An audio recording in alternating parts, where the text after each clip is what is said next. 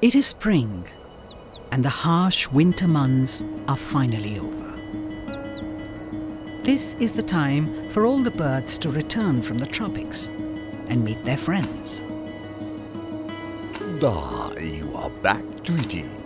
Long time, Daddy.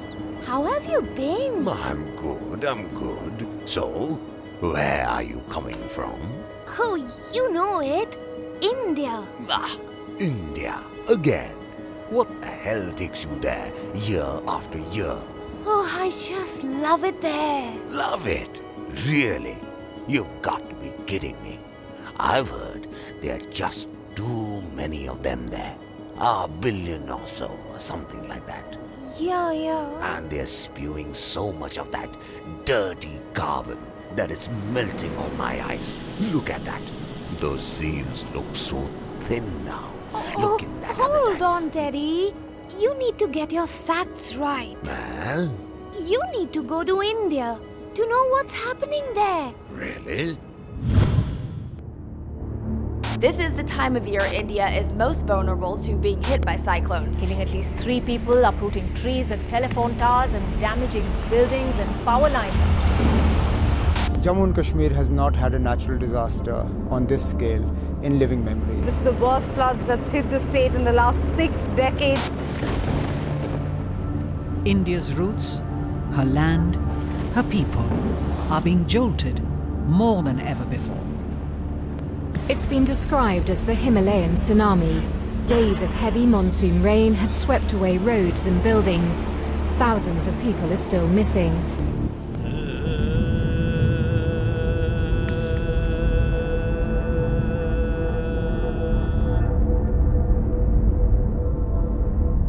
The flood situation in Jammu and Kashmir is very grim and steadily deteriorating. The number of dead in the floods has reached 148.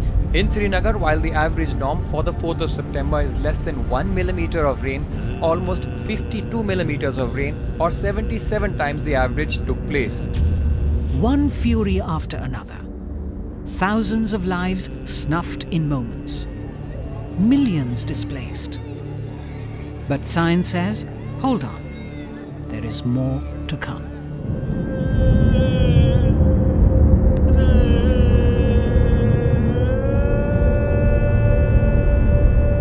The impacts of climate change pile up in the extremes. Extreme high temperatures, extreme droughts, extremes of intense precipitation, and extremes associated with high sea levels.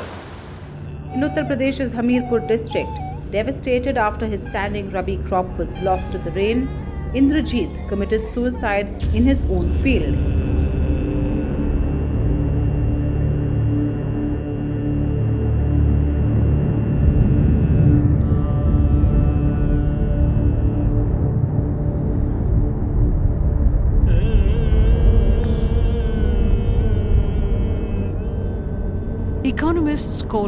The tragedy of the commons. The rich countries that industrialized first overused the atmosphere as a dump for greenhouse gases.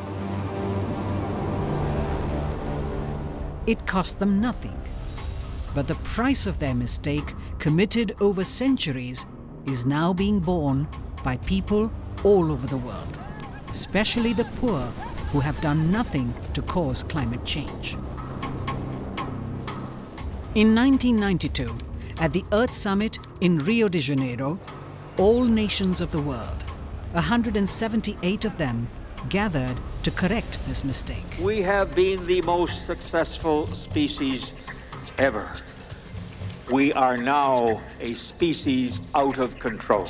All countries signed the United Nations Framework Convention on Climate Change. The rich countries agreed to take the first step to reduce their greenhouse gas emissions and further promised to enable poor countries to fight climate change by extending funds and technology. But these were empty promises. 20 conferences have gone by. The world is expecting us to reach some kind of agreement concerning climate change and not just continuing discussing procedure, procedure, procedure. The rich countries have neither reduced emissions nor have they delivered the billions of dollars they committed to support poor countries in their fight against climate change. I was born in 1992. You have been negotiating all my life. All my life. The fact is, in Rio, there were two parts of the agreement. They will reduce, we will, we will have the space to increase. The second part of the agreement was they would give money and technology so that when we develop, we can develop differently. Now, if you look at what has happened since Rio is, Annex 1 countries have not reduced at the scale that they should have. And I'm talking about all Annex 1 countries, including Europe. Ah, okay, okay, it. You don't have to go on and on about it. You just love to rake up the past, isn't it? That's not true, Teddy. I don't agree. I don't agree with that. Sure, there must have been some oversights, some goof ups.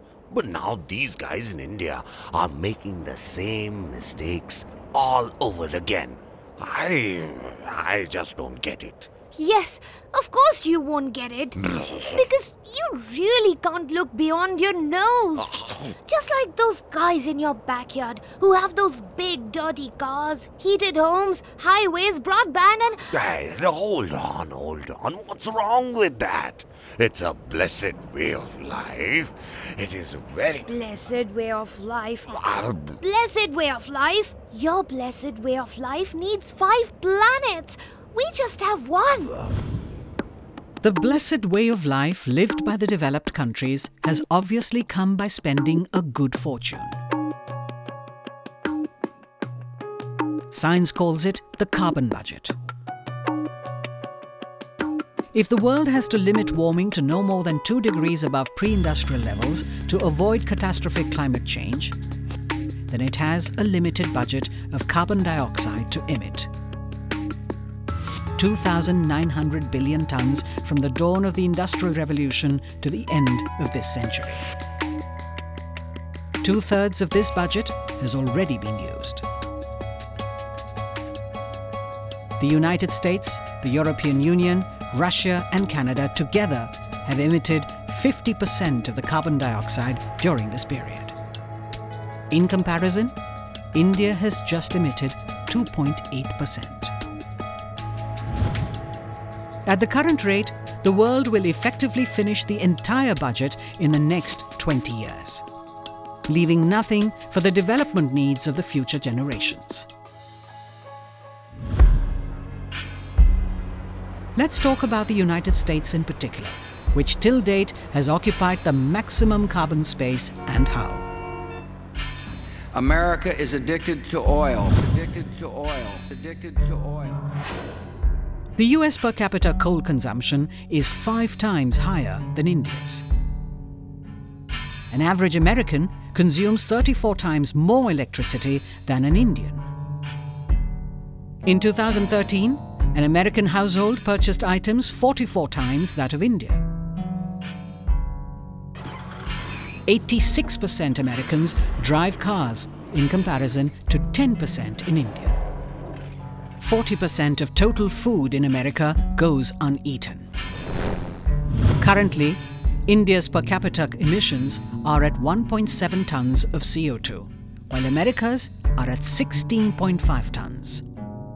With its much celebrated climate commitments by 2030, the United States will reduce this to just 14 tons. Whereas India, with its most elevated trajectories, will still remain below the 2005 global average of 4.22 tons. Whatever happened to the promise of equity?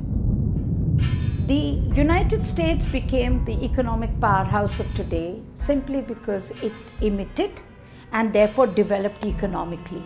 But in that, it used more than its share of the global commons. Now, just like financial debt, you should be calling this the natural debt of the United States the developed world used cheap energy to develop. It meant that there were emissions and they have occupied a large part of the carbon space. Now, when we want to provide our people with energy, there just isn't carbon space for the emissions that will result from the greater use of carbon. The C word of consumption has to be the climate word as well. Because unless we discuss consumption and we make the American lifestyle negotiable, we will not be able to combat climate change. Let's now look at the inconvenient truths of some other rich countries. Compared to India's per capita emissions of 1.7 tons of CO2, the EU emits 7.2 tons. Russia 12, Korea 12.2, Canada 17.6. So this is equity in the real world. That while a few rich countries continue to guzzle energy to live an addictive lifestyle, nearly 1.6 billion people globally do not have electricity. 300 million of these live in India alone.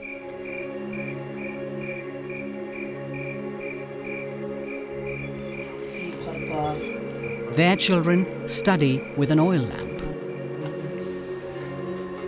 Millions of women here inhale toxic smoke while cooking on open fires. One third of Indians live in extreme poverty without shelter, education, or healthcare. They suddenly deserve a better life. With such unfinished tasks at hand, India is investing her scarce resources to adapt to climate change, protecting its glaciers and coasts, making watersheds, building early warning systems, preparing communities for disaster management, training farmers to be climate resilient. India has a lot to do. It needs more carbon space. It is already too late for her people. I get your point. Hmm? What? That everyone has a right to a good life. Exactly. But, but then if everyone starts living that life, then I have no hope. It's just going to get worse here. You know, that's the trouble. You're getting old and cynical. Just because a few folks had a party by blowing tons and tons of carbon into the air, it does not mean that it's the only way to go about it, huh?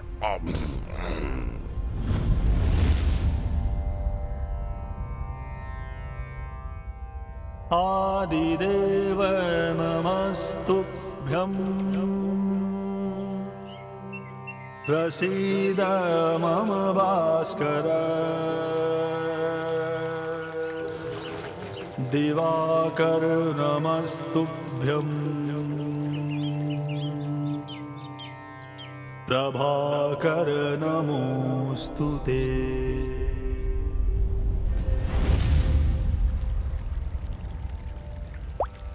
In India, the sun is revered as God. In thousands of far flung villages that are off the grid, this God is literally helping to light up homes. But for a country where 300 million people still live without electricity, even the God can only do as much. This is Charanka. The rows go on as far as the eye can see. With an installed capacity of 600 megawatt, this is Asia's largest solar park in the Thar Desert in India. But because of the limitations of solar technology, it operates at an efficiency of just 22%.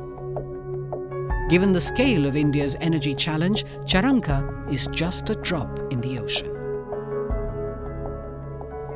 In Jaisalmer, Rajasthan, the wind is turning the turbines of one of Asia's biggest wind farms with an installed capacity of more than 1,000 megawatt.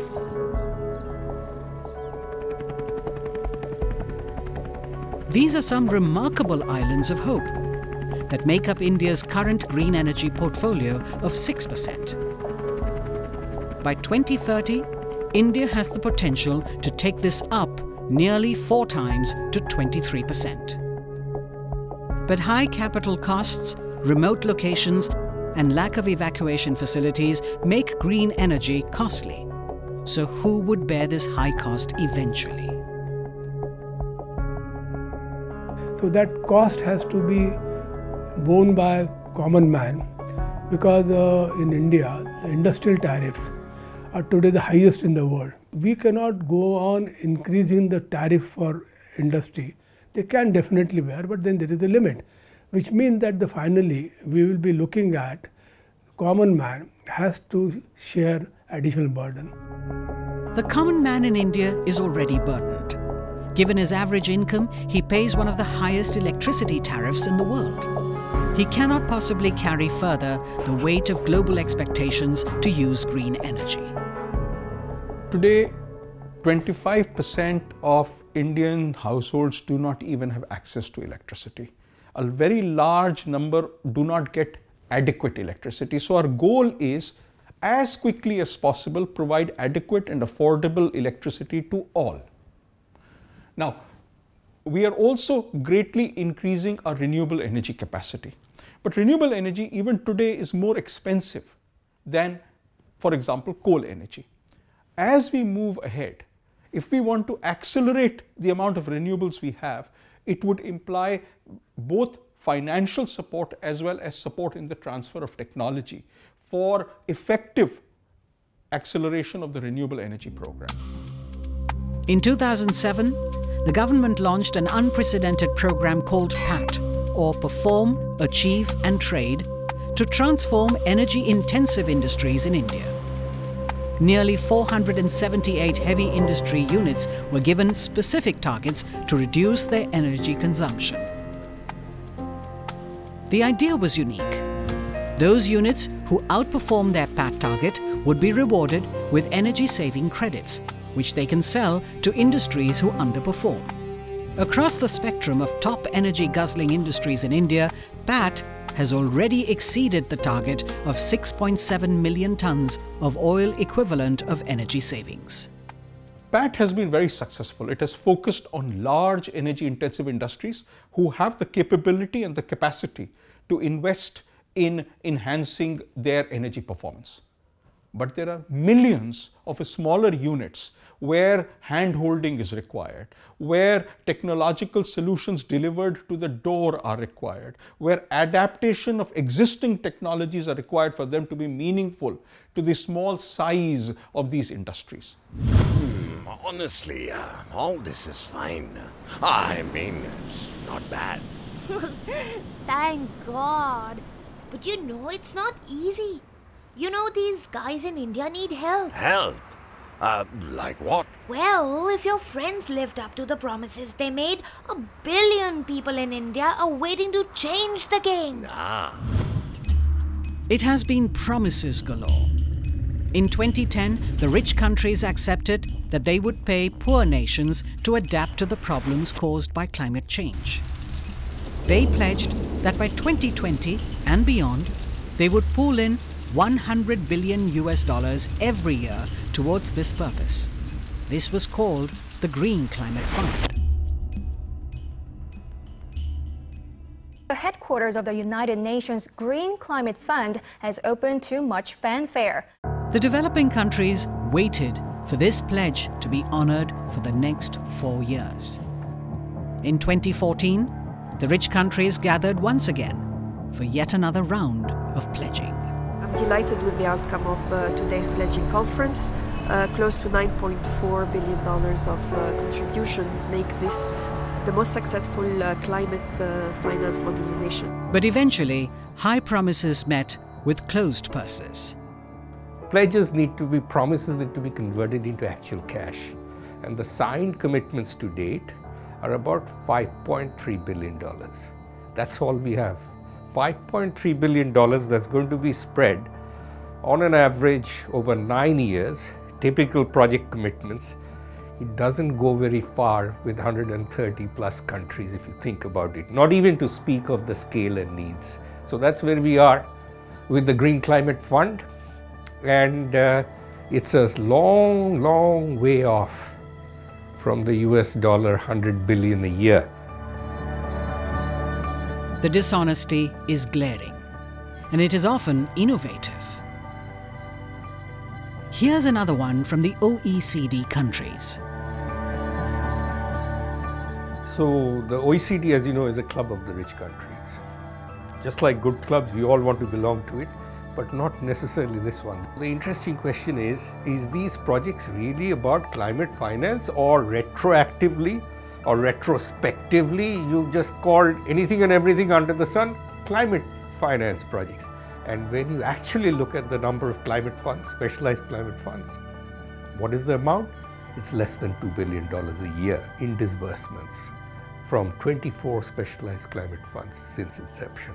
So $57, $57 billion claimed OECD, actual neutral source, much more credible, $2 billion.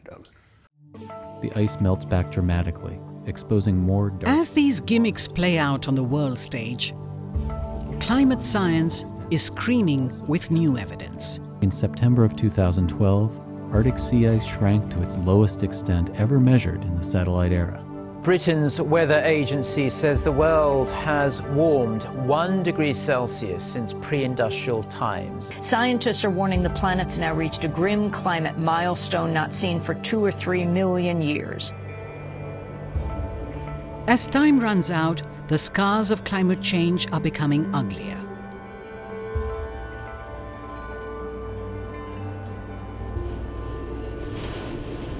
But it is only ironic that when it strikes, disasters do not differentiate between borders, ethnicities, or even the GDP of nations. Hurricane Sandy crashing on shore, winds now at 90 miles per hour, and this storm is so big, so vast, 60 million Americans will feel its power. Will feel its power. Will feel its power. Oh my God! I haven't seen so much disaster ever. Yeah, you haven't seen much anyway. Just because you travel, you think too much of yourself, Tweety. No. Anyway, I'm done. I'm hungry. I'm leaving. Your choice. But it's not about you, me, or these seals. It's about all of us. We are in the same boat. It's about our planet. It's about our children. Teddy, are you listening? This was not the first time Teddy and Tweety were having this argument. For over three decades now, each time Tweety returns from India, Teddy listens to her stories, agrees, and then goes his own way. Nothing much has changed, except that the ice around is melting faster, and the seals are getting thinner and thinner.